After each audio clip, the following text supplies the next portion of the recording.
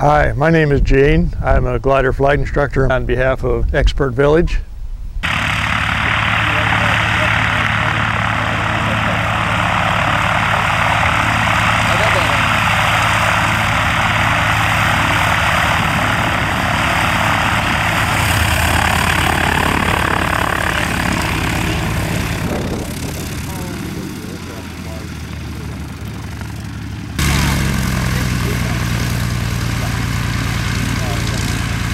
We can't really depend always on radios and you can't communicate audibly because of the noise of the airplane engines and the distances involved. So almost everything is done by universal hand signals. Same signals are used all over the world by all glider pilots and it's a standard that everybody has to learn before they start flying.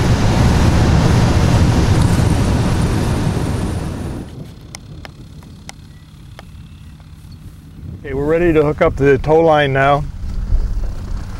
We use the visual and audio signals. Open, Open this means I'm opening the release, close slowly. closing slowly. That gives him a chance to attach the rope to the glider. Hang on.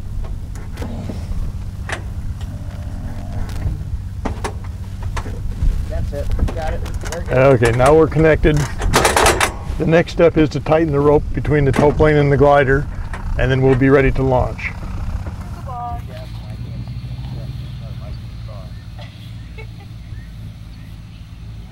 As soon as the rope is tight, we'll close the canopy and run our checklist to make sure that we're ready to fly.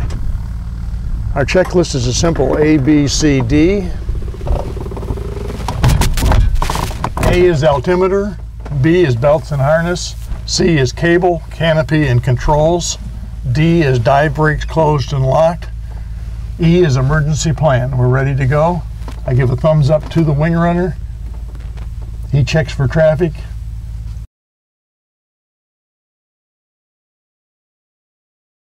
Lifts the wing for me.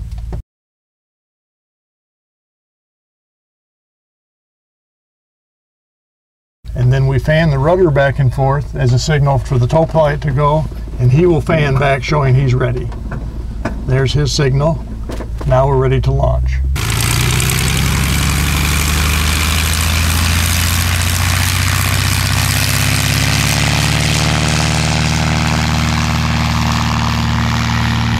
We'll fly first.